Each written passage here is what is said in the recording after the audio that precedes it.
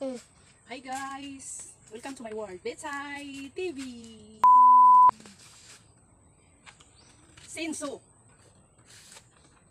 Magsinso o karon o kahoy. Okay?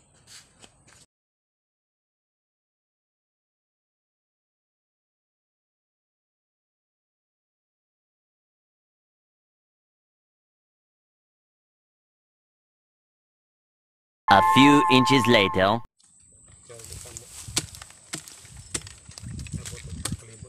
Hapit na. Unya, sa kalibo na ito.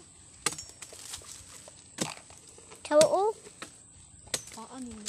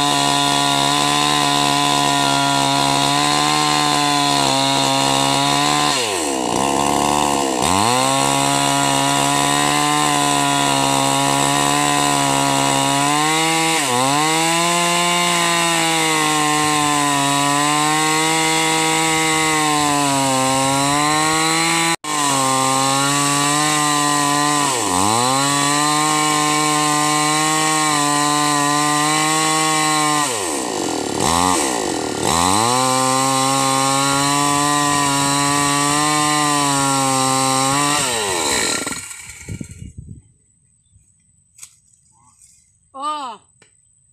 Di ba? Tingnan niyo guys. Tap alan. Oh.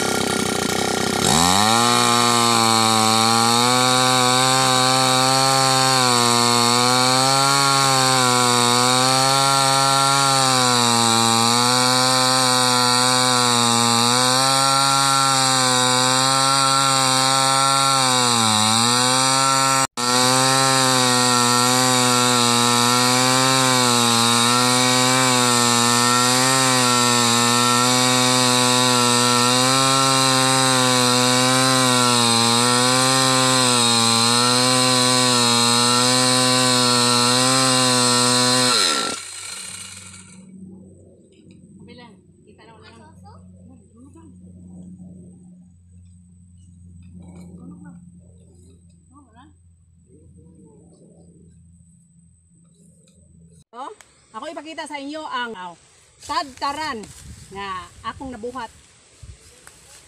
One, Two. two, three, four, five, six. Yay! Oh, di ba? Oh, no. Okay kayo. A few moments later.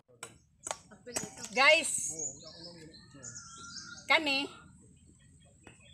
tadtaran lang niya, panglamas, pangkinilaw. Kaning dako-dako, pwede ni siya, slice lang siya sa kaining baboy, kaining manok. Pero katong mga ribs na sa sama sa baka, kabaw, elepante, kamil, kato. Dili ni siya pwede gamiton para iana. Kay mabuak man eh. Pang ginagmay ra ni. Para nang mga isda nga barilis. Atong unod, dire slice.